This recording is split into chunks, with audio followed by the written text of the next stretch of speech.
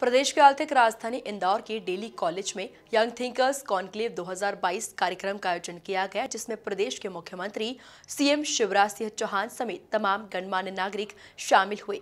देखिए खास report. Daly College में यंग थिंकर्स कॉन्क्लेव 2022 सीएम समेत तमाम गणमान्य नागरिक हुए शामिल। सीएम शिवराज ने किया युवाओं को संबोधित। डेली कॉलेज के यंग थिंकर्स कॉन्क्लेव 2022 कार्यक्रम में सीएम शिवराज सिंह चौहान प्रज्ञा प्रवाह के अखिल भारतीय संयोजक जे नंद कुमार मंत्री तुलसी सिलावट, सांसद शंकर लालवानी, महापौर पुष्यमित्र भार्गव नगर अध्यक्ष गौरव रणदीवे जिला अध्यक्ष डॉक्टर राजेश सोनकर, आईडी अध्यक्ष जयपाल सिंह चावड़ा और विक्रम सिंह पवार समेत तमाम गणमान्य जन उपस्थित थे। इस दौरान सीएम शिवराज सिंह चौहान ने युवाओं को संबोधित करते हुए कई महत्वपूर्ण विषयों पर अपनी बात रखी। स्वामी विवेकानंद जी की एक किताब मेरे हाथ लग। गई अब मैं तो छोटे से गाँव में पैदा हुआ, सरकारी स्कूल में जहाँ टाट पट्टी हाथ में लेके जाना पड़ता था।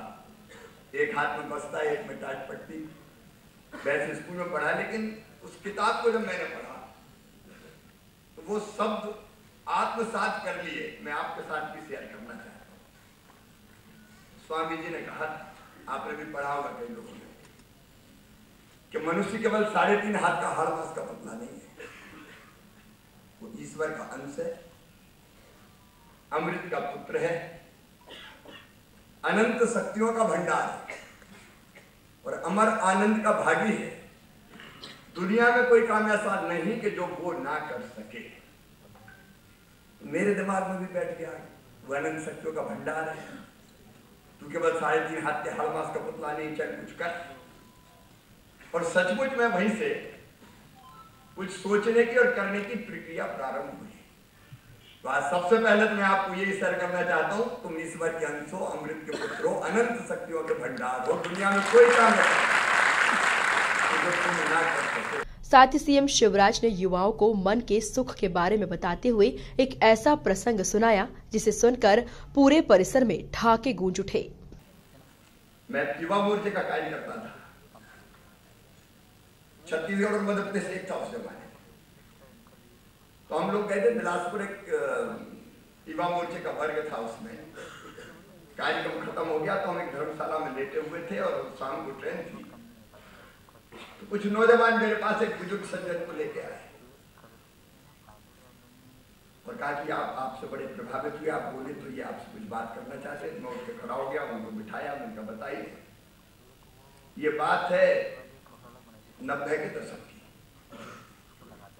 उन्हें कहा कि बेटा देश की हालत बड़ी खराब है। इनका बात तो आप सही कर रहे हैं।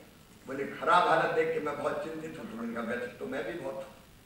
उन्होंने कहा इस व्यथा से व्यथित होकर मैंने कुछ पंक्तियाँ लिखी, वो पंक्तियाँ तो मैं सुनाना चाहता हूँ। मैंने मन में कहा कि तो कभी लग रहे और कविता सुनने का मूड मेरा बिल्कुल नहीं था।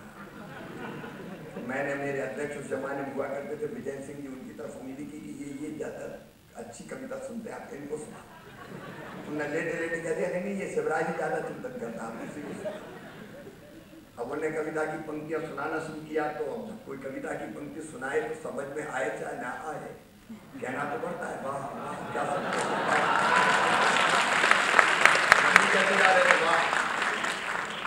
कविता खत्म होने का नाम ही नहीं रही थी। बगल में पानी का गिलास रखा था तो मैंने उठाया और एक एक घूट पानी पीऊं और तुम वाह, क्या सब अब ये कहते कहते मेरी नज़र मिल गई, मेरे अध्यक्ष विजेंद्र सिंह जी से, वो मुझे फंसा हुआ जान के मुस्कुरा रहे थे। अब उनको मुस्कुराते हुए देख के मुझे भी हँसी आ गई और मेरे मुँह का पूरा पानी कभी भर के मुँह पे चला। मुझे भी फंसका लग गया, नाक में पानी, आँख में पानी बाद में मैंने सोचा कि बड़ी गलती, गड़बड़ हो गई।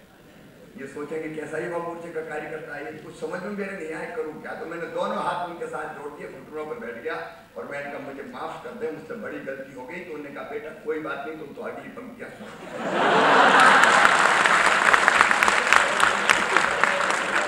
इस दौरान बड़ी संख्या में छात्र छात्राएँ डेली कॉलेज के यंग थिंकर्स कॉन्क्लेव 2022 कार्यक्रम में शामिल होने पहुँचे थे।